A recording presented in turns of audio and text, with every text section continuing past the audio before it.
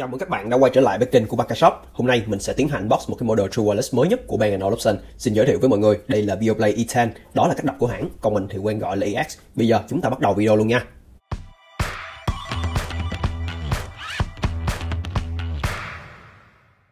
Bên trong hộp của E10 sẽ có sách hướng dẫn sử dụng nè. Đây là bốn cái bộ e-tips, trong đó có ba cặp là silicon trùng với tông màu chủ đạo của tai nghe và thêm một cái cặp bọc biển. Cuối cùng là một cái sợi cáp sạc USB-C Thay vì sử dụng hình dạng bò tròn như các cái model trước kia của Bino thì E10 lại mang thiết kế dạng thanh tương tự như là Apple AirPods. Kiểu thiết kế này sẽ rất là lý tưởng cho những bạn nào có khuôn tay nhỏ, đặc biệt là chị em phụ nữ.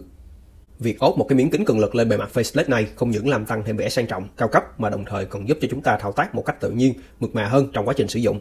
Theo những công bố thì tổng thời lượng pin trên chiếc tai nghe này sẽ rơi vào khoảng 20 tiếng.